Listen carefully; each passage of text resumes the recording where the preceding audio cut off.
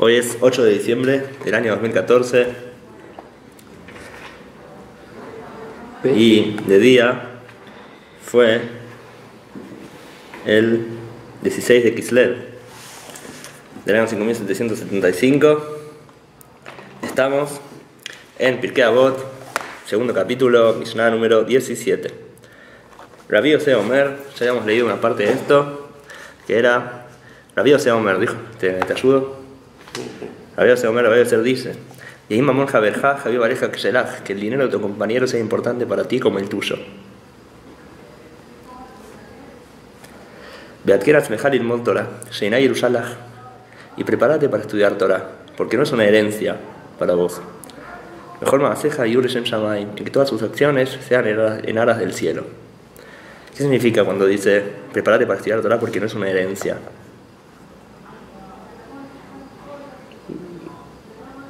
Porque solo aquí se pueden cumplir mis votos. ¿Cómo? Solo en este mundo se pueden, hacer, se pueden cumplir mis votos.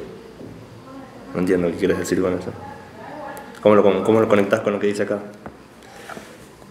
Que si estudiáramos eh, Torah para subsistir en el Olam sería comprensible que estudiáramos para prepararnos. Pero realmente estamos estudiando para que esté preparado un Olam para nosotros. Pero ¿cómo entra eso en las palabras preparar para estudiar Torah? Porque no es una herencia para vos. ¿Qué significa? Porque si no es una herencia, entonces hay que prepararse. Y si sí fuera una herencia, no tendrías que prepararte, no tendrías que esforzarte. Porque la herencia la recibes cuando todo acaba. Cuando ¿Qué acaba? Una herencia es cuando existe un testamento y tiene que cumplirse ciertos requisitos para que recibas tú esa parte. ¿Como cuál? Como que la persona que te, da el todo, te cede todo tiene que fallecer. Tu padre. Entonces, ¿qué hay que hacer para recibir la herencia? Eh, de forma natural, de, de esperar, O sea, nada. Nada.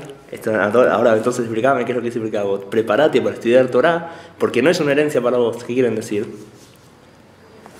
Que tienes que trabajar mucho. Muy bien, no como la herencia, que no hay que hacer nada. Ahí está. Una herencia no hay que hacer nada para recibirla. La Torah no es herencia. La Torah hay que esforzarse para poder adquirirla. No la vas a recibir sola si no haces nada. No vas a quedarte sentado y, y aprender Torah. Sino tenés que esforzarse para estudiarla. Por otro lado, hay un pasú que dice, Torah Tzibarano Moshe, la Torah nos ordenó Moshe, Morayaki y Jacob, la herencia para la congregación de Jacob. O sea que la Torah sí es herencia. Son diferentes niveles en la Torah. No vamos a entrar ahora en el sentido ese, pero de manera general lo que está tratando de decir es, no esperes que sepas Torah si no te esforzás por estudiarla. No te va a llegar sola sin que hagas nada. ¿Sí? Vamos a ver acá lo que dice el Tzadik de Daniel, basado en Rabbi Nachman de Breslev. Uba Tana Homosifleja, Shetistadel de Atkinet Atzmejal Ilmol Torah.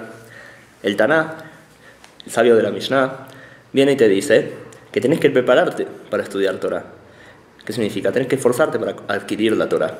Que a Torah omedet quieren sabit benay rushala adam. Porque la Torah está puesta en una esquina. Y no es una herencia para la persona que la recibe solo. El acola jafes ilmod sino que aquel que quiere estudiar puede ir a estudiar, pero tiene que ir a estudiarla. No va a llegar sola. Como dicen nuestros sabios, dijo Rabbi Shimon Ben Yochai, hay tres coronas en este mundo. Keter Torah, Vegeter Keunah, Vegeter Malhut. La corona de la Torah, la corona del sacerdocio, la corona del reinado. Keter Keunah Zahabu Aaron Netaló, la corona del sacerdocio, ¿quién fue el meritorio de ella? Aarón, se lo llevó él para su descendencia. Keter Malhut Zahabu David Netaló, la corona del reinado, se lo llevó David el rey para su descendencia. Keter Torah, haremos un ajre dorot, pero la corona de la Torah está puesta para todas las generaciones. Kol la Torah y aquel que tiene el mérito de estudiar Torah, Kiru Zahar Ishlostan, es como si fuera que él adquirió las tres coronas. Mejor se lo Zahale Torah, Kiru lo Zahale y aquel que no estudió Torah, es como que no adquirió ninguna de las coronas. ¿Qué está tratando de decir acá? Primero que nada, que a diferencia del sacerdocio y el reinado, que no es algo que pueden recibir todos, la Torah es para todos. Y todos pueden adquirirla. Todos pueden ir y estudiar Torah. Por otro lado, si vos sos Cohen o sos rey pero no adquirís Torah, entonces no vale nada el sacerdocio y el reinado. Tal Pero si adquirís Torah, es como que adquiriste también sacerdocio y reinado. Vemos acá, un segundo, vemos acá que los sabios le prestan mucha atención, no a cómo la persona nace, sino al esfuerzo que la persona hace. O sea, hay diferentes religiones, por ejemplo en el hinduismo, en el cual hay diferentes castas. Están los brahmines, están, hay cuatro castas, los brahmines son los más altos, y después están los reyes, después están los luchadores, y después, este, después está la gente simple. No podés cambiar de casta y no se casan entre las castas. Entonces hay una jerarquía que depende de la familia y no podés cambiar en esa jerarquía. El judaísmo hay ciertas jerarquías de sacerdocio, de reinado, que tienen que ver con familias específicas, pero el valor no depende de la persona, no depende de ellas, sino que depende del esfuerzo que la persona hace en estudiar, en aprender, en conocer al Creador, estudiar Torah, hacer buenas acciones, trabajar consigo mismo. Incluso la persona que es rey y sacerdote, es imposible ser las dos, pero rey o sacerdote, si no estudia Torah, no vale para nada. Es como decía Rabbi Mendel, Rabbi, Rabbi Mendel Futterfass, un mashpia, en la yeshiva de Kfar él decía que la ascendencia es como muchos ceros. Pero si uno no le pone el 1 al principio, todos esos ceros no valen nada. Entonces lo mismo acá. Uno puede tener una gran familia, pero si no se esfuerza el mismo, no vale nada eso de que venir una gran familia. Uno puede venir una familia cualquiera, pero si él se esfuerza, entonces ese esfuerzo es lo que puede elevar. Por eso, los rabinos, puede ser cualquiera que quiera. Cualquiera puede ser un sabio. No tiene por qué haber nacido en una familia de sabios. Puede venir una familia de conversos, puede venir una familia de gente que no es sabia.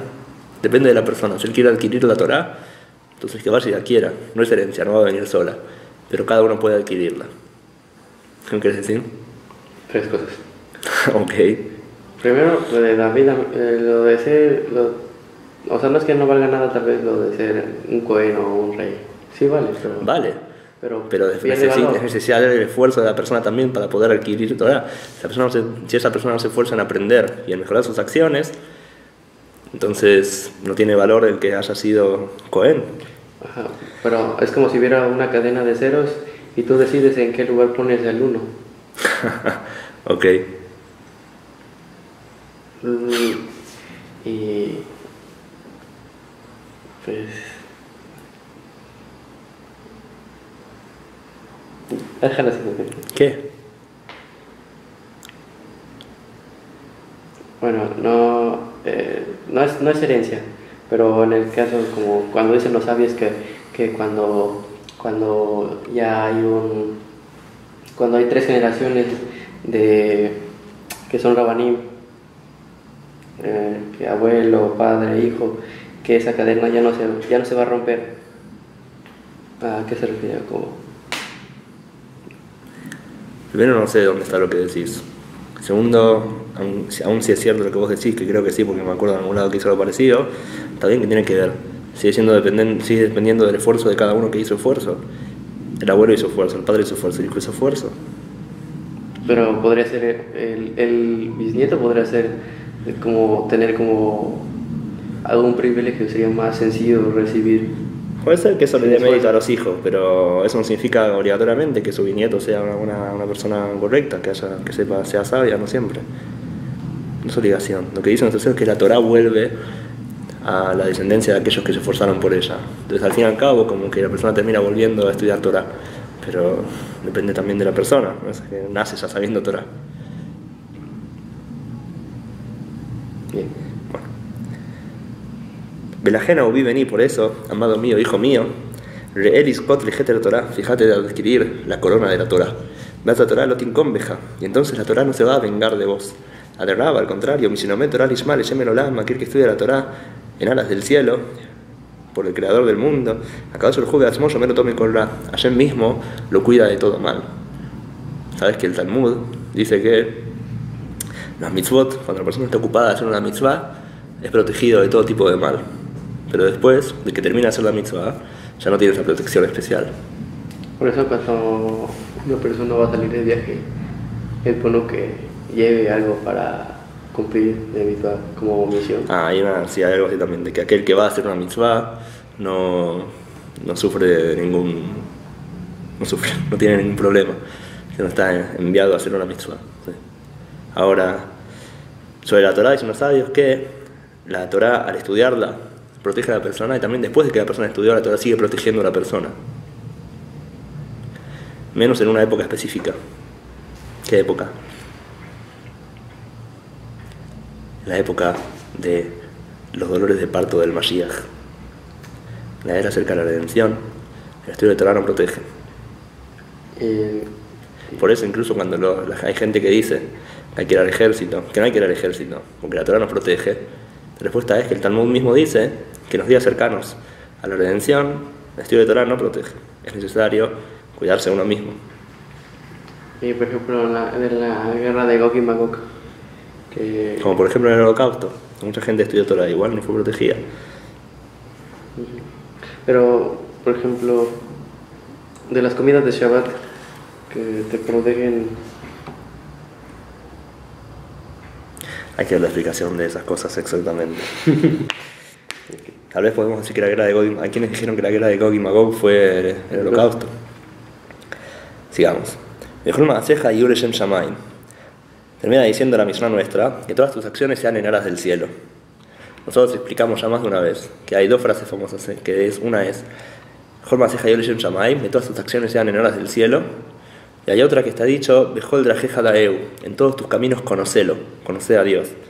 O sea, en una está dicho que todas tus acciones sean en aras del cielo, y la otra es en todos tus caminos conócelo. ¿Cuál es la diferencia? La diferencia es que cuando uno dice todas tus acciones sean en aras del cielo, significa que lo que haces ahora no es un acto divino, pero esto te lleva a poder hacer actos divinos. Contra el queja de Evo, en todos tus caminos conócelo, significa que todas las cosas que haces mismas sean divinas. ¿Qué estoy tratando de decir? Como explicamos también otra vez el jueves, la diferencia entre Jacob e Israel. Jacob come para poder estudiar Torah, para poder hacer mitzvot, pero el comer en sí no es una mitzvah, pero en Shabbat comer es mitzvah. Entonces uno está en un nivel superior. Entonces depende en qué nivel está la persona. A veces uno está en un nivel en que todo lo que hace no es en sí algo que lo conecta con Dios, pero tiene que esforzarse que su intención sea que a través de esto me conecte con Dios. Otro nivel es, no, todas las cosas que hago me conectan con Dios en sí. Hay una persona que trabaja, después del trabajo poder ir a estudiar, poder hacer proyectos de Torah. Hay una persona que el trabajo mismo difunde Torah a sus empleados, a sus compañeros, difunde Torah. Entonces en el trabajo mismo es una mitzvah. como la diferencia. Una segunda, no, un segundo, una segundo, un segundo. También, dijo, también está escrito en Ayom Biom, escribe el breve que cuando una persona hace negocios, tiene que entender que el motivo que Hashem lo manda a hacer negocios no es para que haga negocios, sino para que la gente con la que se encuentra hable con ellas de Torah y las acerque a las mitzvot. Y ese es el motivo que Hashem te manda a hacer negocios. Entonces la diferencia, hay gente que trabaja y después de- de- para sustentarse y después poder estudiar de tarde, la gente que entiende que no, que el trabajo mismo es la misión de uno para poder difundir ahí mismo Torah. Incluye, incluye a, a Gol. El Goy tiene sus cosas que tiene que hacer. Difundir Shema Mitzvot Noach, por ejemplo. Es como lo que nos decía para, para ver lo bueno, que cuando nos pasa algo. También, exactamente esto- igual. Esto es bueno Es exactamente igual. y esto... pues, es para bien. Es exactamente igual, mamás. Es mamás exactamente igual. La diferencia entre Rabbi Akiva, que dijo todo lo que hace el, el compasivo, el creador, es para bien. O sea que esto mismo no es bueno, pero eso viene, trae un bien mejor. No hay mal que por bien no venga. O lo que decía Nahum Kanzu, que decía también esto es bueno. O sea, él veía lo bueno en la misma cosa que parece mala. La de Akiva, él dice, esto que es malo, después va a traer algo mejor. Exactamente. Entonces depende en qué nivel esté la persona. Hay que tratar de estar en el nivel, superior, pero no siempre podemos. Entonces por lo menos saber que todo lo que uno hace tiene que ser con una intención sagrada. Como el Rambam también dice, el Rambam dice que la persona tiene que servir a Hashem todo el tiempo, todo el día. ¿Cómo? Cuando él come, tiene que comer para estar sano, para poder estudiar y poder pensar y conocer a Dios. También cuando él duerme, tiene que dormir para poder tener fuerzas otro día, para poder conocer al Creador.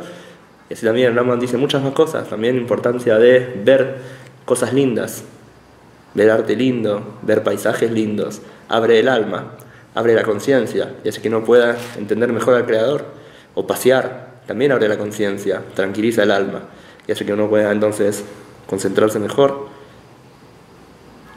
O también a veces es necesario comer cosas dulces, comer cosas ricas que alegran el corazón.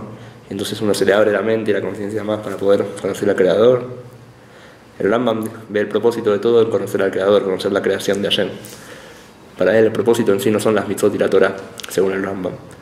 Según el Rambam, la Torah y las mitzvot son para que la persona pueda estar en un estado correcto para poder conocer al Creador. Para conocer, para estudiar física, metafísica.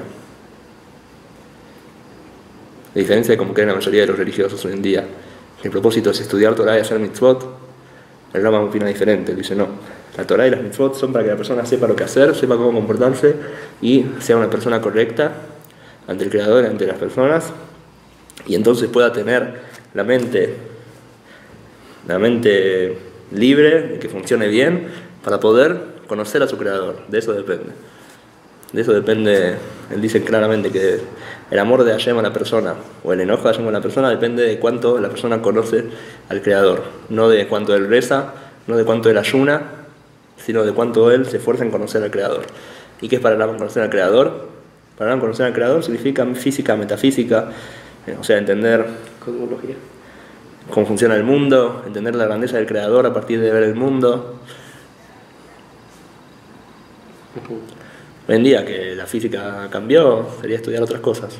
El Rama también dice que es muy importante estudiar matemática y lógica, entre otras cosas, porque ayuda a la persona a pensar de manera correcta eso y no tener errores en su pensamiento.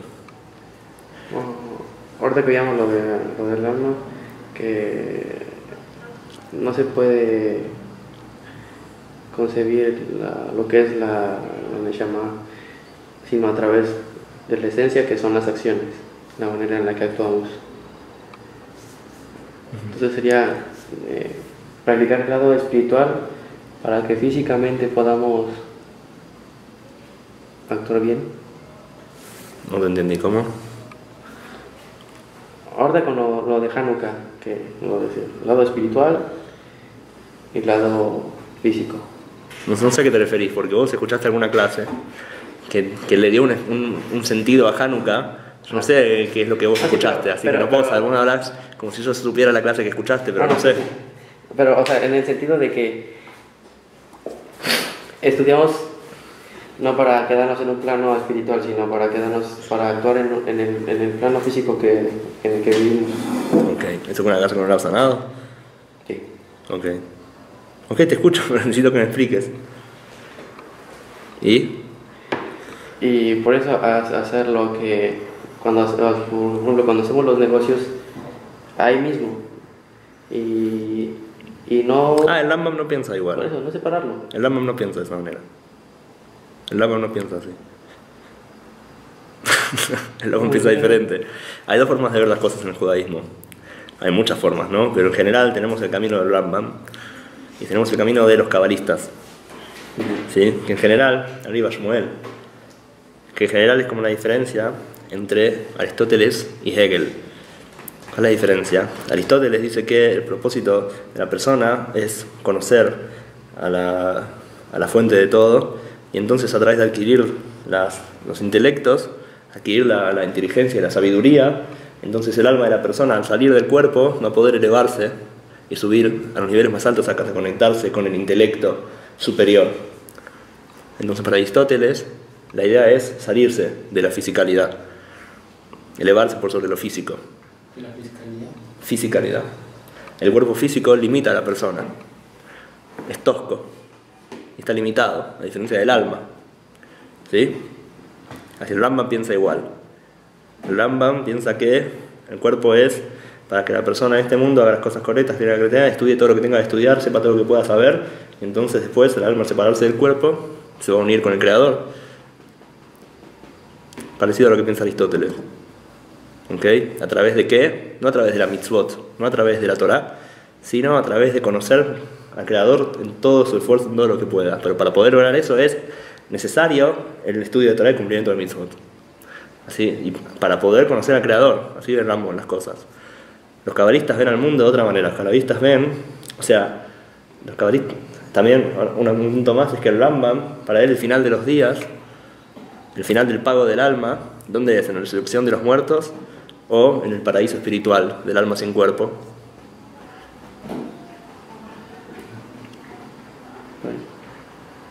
Según lo que dije, ¿qué parece? Según el Rambam.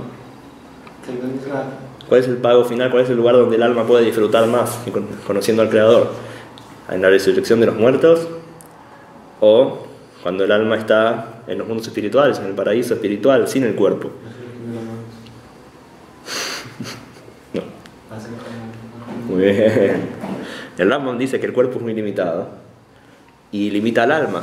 Por lo tanto, para poder conocer al Creador, conocer y disfrutar y entender lo infinito, hay que estar fuera del cuerpo. El alma ilimitada fuera del cuerpo. Por eso para él la resurrección de los muertos es algo pasajero. Después el alma se muere, perdón, el cuerpo muere y el alma se libera. Ese es el final para el Rambam. Para los cabalistas no es así. Para los cabalistas, el alma está en los mundos superiores, en el paraíso espiritual, un tiempo, hasta la resurrección de los muertos. Cuando llega la resurrección de los muertos, todas las almas vuelven a este mundo y vivimos todos acá en este mundo. Y en este mundo es donde va a haber la revelación de Dios más grande que en todos los mundos espirituales. Los cabalistas ven al mundo y a, lo- y a la fisicalidad no como algo que hay que separarse de ella, sino como que ahí está oculta la, la divinidad en la manera más grande, pero el mundo tiene que ir avanzando y refinándose y elevándose. La fisicalidad y los cuerpos van avanzando y refinándose hasta que se hacen divinos.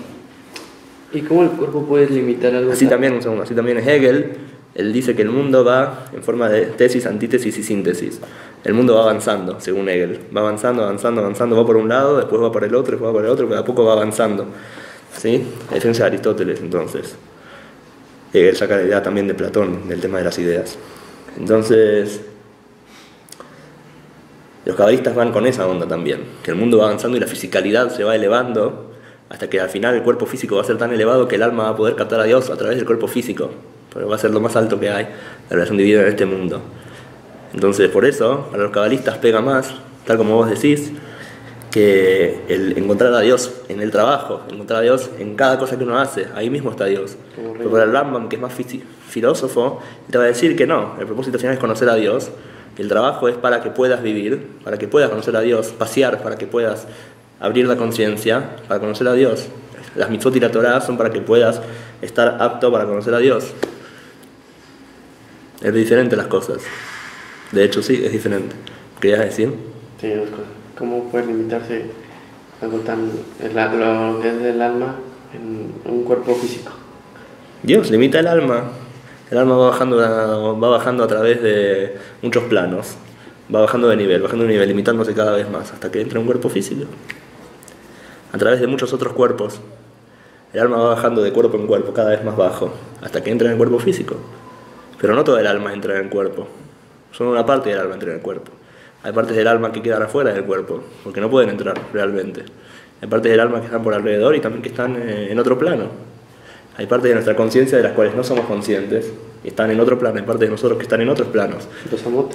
y no entran en el cuerpo. El cuerpo no puede captar esas partes de nuestro propio alma. O sea que en este momento no- nosotros estamos acá haciendo algo somos conscientes de esta parte, pero en realidad nuestra alma está en otras partes haciendo también cosas al mismo tiempo. Cuando yo estudio Torah acá, mi alma está en su fuente, en el mundo de Atzilot, también estudiando Torah.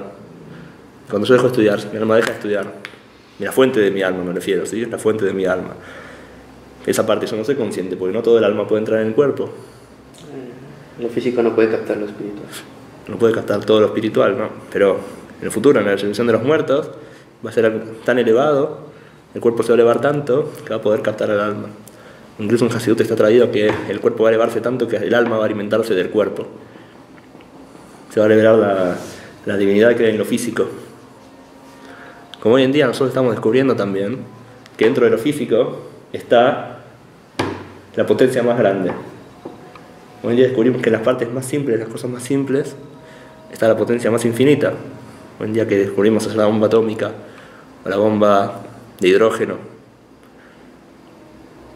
En las partes más chicas de la materia hay una energía infinita. En la parte más insignificante hay una energía infinita. Así también de poco vamos a ver cómo en lo físico en realidad hay energía infinita.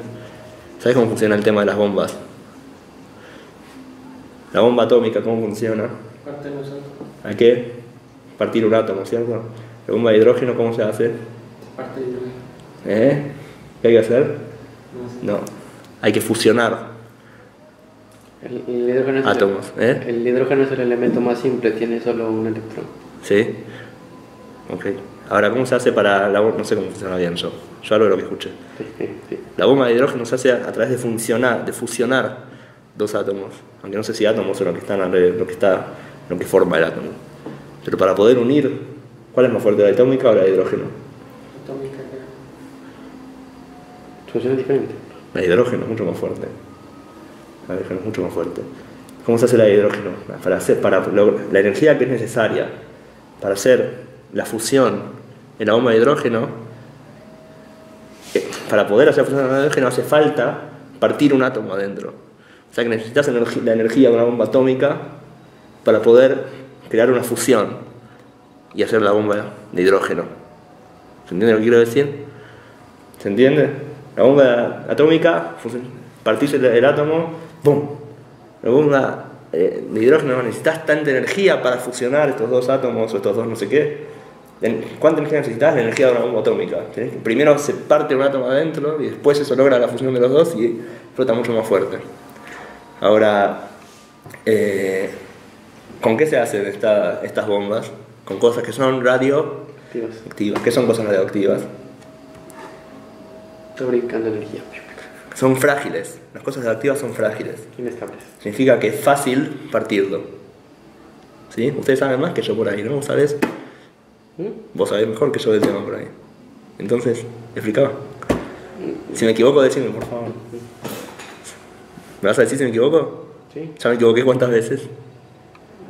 Ah, está bien, está bien la explicación, está muy bien. ¿Qué es lo que hay que unir para hacer la bomba de hidrógeno? Es que yo no he estudiado yo ¿Eh? química. Bueno, pero ¿qué hay que fusionar entonces?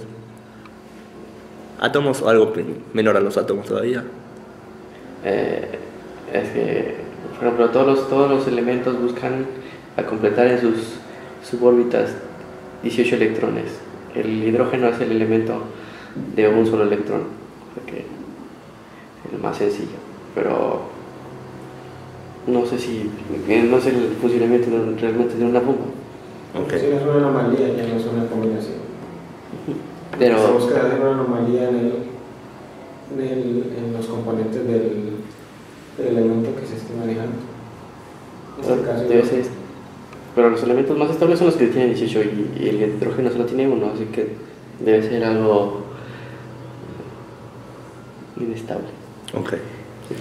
Sea como sea, se hace con cosas radioactivas, porque las cosas radioactivas son más fáciles de partir. Pero si yo podría partir un átomo que está en, por ejemplo, ¿dónde se sacan estos elementos? Se saca de, de minerales, como cuál, como qué tipo de minerales se sacan las cosas radioactivas. Eh, mercu- eh, Mercurio. puede ser un- No, no, mercurio no, es Plutonio.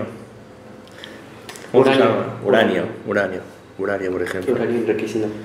Uranio enriquecido. Ok. Hoy en día también están avanzando en cómo hacer para enriquecer el uranio, pero sí, es cierto, porque son cosas radioactivas, son fáciles de partir. Pero si yo podría. Esto es la. la perdón. Ah. Esto es la ciencia como sabemos hoy en día. Si nosotros podríamos partir un átomo de plástico, de lo que compone el plástico, entonces tendríamos una energía, no sé, un millón de veces más fuerte, no sé cuántas millones de veces más fuerte. ¿Por qué? Porque es algo que no es radioactivo. Entonces es muy difícil de partir. Para partir eso necesitas muchísima energía, por eso no se hace hoy en día, no se puede. Pero si podríamos hacer eso, tendríamos una energía mucho más fuerte. Entonces, lo que vemos hoy en día es que en la materia, cuanto más tosco es algo, al contrario, más energía tiene adentro, más en, una infinita energía adentro, las cosas más chicas y más simples y las cosas más toscas, Es como una energía en bruto. energía en bruto, nos dice, nos dice Itzhak. Entonces esto es lo que los cabalistas también nos dicen, que en el futuro de la, de la materia física se va a revelar cómo en ella hay una energía infinita. Y el cuerpo sí va a poder, el alma no va a necesitar estar fuera del cuerpo para captar divinidad. El alma va a estar dentro del cuerpo. Y del cuerpo se va a revelar su fuente espiritual, como viene directamente de Dios, y su energía infinita, y en el cuerpo mismo va a poder captar divinidad. Va, a haber la, la fuente más alta en la dignidad que tiene el cuerpo, que incluso que el alma, en cierto modo. Extraño porque toda la materia es energía. Entonces, Si controláramos la materia tenemos que ser suficientemente rápidos, ir a la velocidad de la luz. En ese caso nosotros teníamos, brillaríamos. bueno, ¿quién dice que no? Tal vez brillaremos. Entonces, Yo me pregunto, ¿cómo va a ser en la resurrección de los muertos? ¿Dónde va a haber lugar para la gente? ¿A dónde vamos a poner a la gente? ¿Eh? En garajes. En estacionamientos vamos a meter a toda la gente, ¿no? Vamos a estar todos los muertos. va a ser alto el edificio. ¿Hasta dónde van a llegar? Hasta Marte.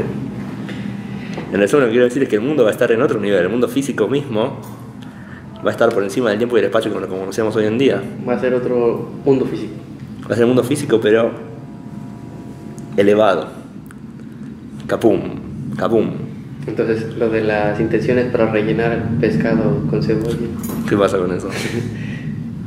ese es un pensamiento cabalístico. Por supuesto. Eh, El Rambam le dirías una cosa así al Rambam y te diría, vos estás loco. No, te diría que eso es locura. bueno, esperemos. Hay diferentes opiniones sobre el Rambam, si era cabalista o no. Lo más probable es que no era cabalista y en contra de la cabala. Bueno.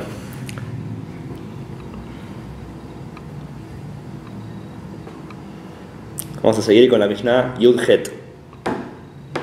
¿Están de acuerdo? Sí. ¿Tienen algo interesante para contar de lo que hablamos? Itzhak, ¿Yo? ¿Cómo que? no sé. No, bueno. Shmuel, tan vital como siempre. Tan lleno de energía y alegría. Todos los días. Todos los días. No lo no. Hoy estás cansado. En general estás más despierto. ¿Qué necesitas? Un beso. Sí. Isaac necesita un beso, Shmuel. ¿Qué pensabas que te lo iba a dar yo? ¿Sapo? ¿Quieres darle un beso? ¿No? No. Bueno. Yudhet, Mishnah 18. Rabbi Shimon Omer, dice Rabbi Shimon, ves ahí Shemon Bitfilá. Tenés que tener mucho cuidado con la lectura del Shema y la Tefilá. Keva.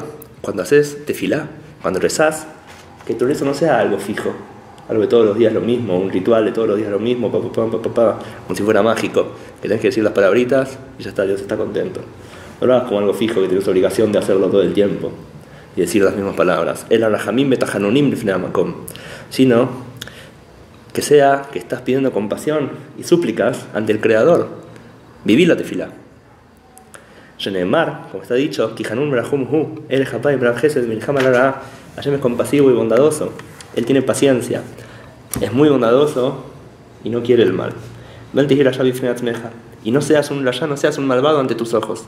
O sea, no te consideres un malvado. Hay gente que le gusta decir yo soy rasha. Dice la Shimon, no te consideres un malvado.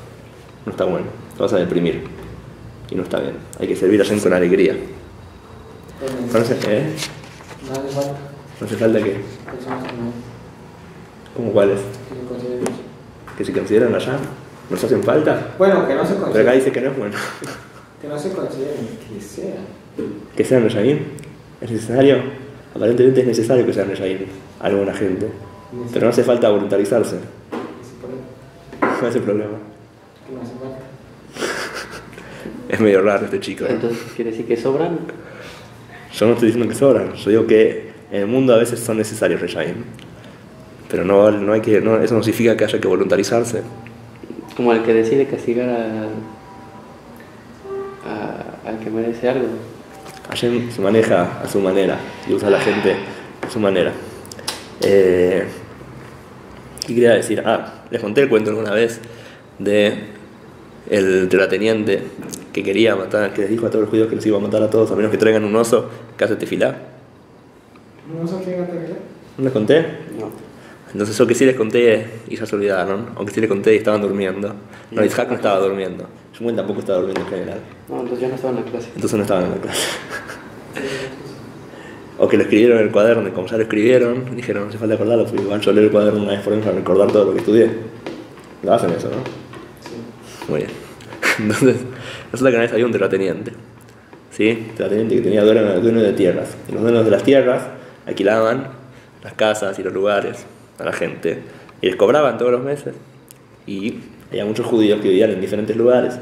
Y hay muchos cuentos sobre los terratenientes que hacían lo que querían con los judíos, como siempre en toda la historia, hasta que Baruch Hashem elegimos nuestro estado y nosotros decidimos nuestro propio destino. Aunque sea que a veces decidimos suicidarnos, por lo menos lo decidimos nosotros.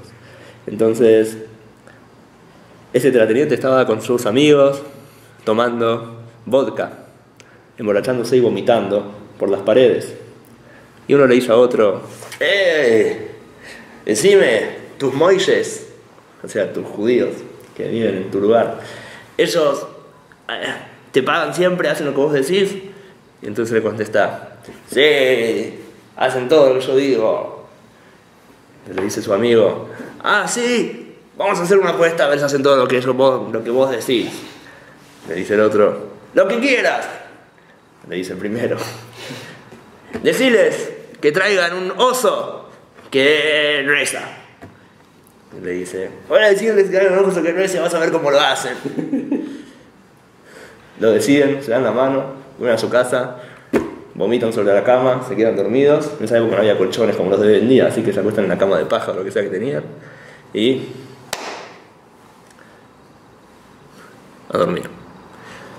Al otro día manda un mensaje a todos los judíos en el templo, sube el gabay, encargado del templo, y dice: El terrateniente dice que si no le mandamos un oso que reza hasta el fin de semana, nos va a matar a todos. No nadie sabe qué hacer, están todos preocupados, hasta que un Hasid dice, yo tengo la solución. Agarra este Hasid, va al terrateniente, le dice, acá le traigo el oso que reza. El terrateniente dice, a ver, entonces de repente el Hasid trae un stender, o sea esto, esta cosa para estudiar. Pone un sidur, lo abre, le tira miel y trae un oso. El oso se acerca, se agarra del stender, se para y pone la boca sobre el sidur y empieza a hacer así. Entonces el terrateniente le dice, ¿qué es esto? El Hasid le dice, es un oso que está rezando. Entonces te dice- el terrateniente le dice, no está rezando, está simplemente moviéndose sobre el sidur y haciendo... El Hasid le dice, eso es rezar, anda al templo, vas a ver que todos hacen igual. Eso es lo que dice Rabbi Shimon que no hay que hacer. No hay que hacer como el oso. Hay que hacer la tefilá, con energía, con súplicas ante el Creador, estando contento de que uno pueda hablar frente a Hashem, no chupando miel del sidur. Les di un consejo, si ustedes se aburren en la tefilá a la mañana, entonces pongan miel en el sidur y chúpenlo, por lo menos no se van a aburrir tanto. Igual también la engorda, pero hay cosas que engordan más. Hablando de eso, hay que cuidarse mucho estos días de Hanukkah, que empiezan a comer sufganiot. Muchos ¿Sabes lo que es? ¿Sabes lo que es? dulces. Sufganiot son, eh, en Argentina se les llaman bolas de fraile.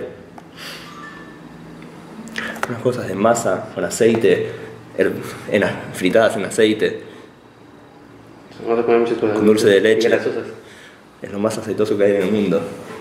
Ah, Subí 5 kilos por cada una. ¿No es el dulce de leche que le dicen? ¿Eh? ¿Dulce de leche? Ah, acá nadie va a saber qué va a haber. Pero acá les ponen, le ponen, sí, son como donas. Sí, donas, pero sin agujero en el medio y con mermelada en el medio y Como- mucho más grasosas y aceitosas. ¿Como glaciado? ¿Como... Mm, sufganiot. Es lo más maravilloso. ¿No es glaciado? Glaciado con azúcar arriba, O sea, es como blanquito. con polvo o con Algo- chocolate. algo así. A veces hay de todo. Las que te van a dar acá son las baratitas, que tienen adentro mermelada y un poco de azúcar en polvo. Pero si vas a un negocio de facturas hay todo tipo de cosas con colorcitos, con, ahí en, en, en Malja, está Roladín, en Roladín, uh, vas a ver las cosas que hay. Hay unas que tienen pistachos, que tienen helado, otras que tienen esto, y hay algunas que ahora le ponen afuera una jeringa. Entonces vos apretás y les metes adentro chocolate. Ay, También. Bueno, vamos a continuar mañana. Pam, pararam, pam, pam, pam. pam, pam.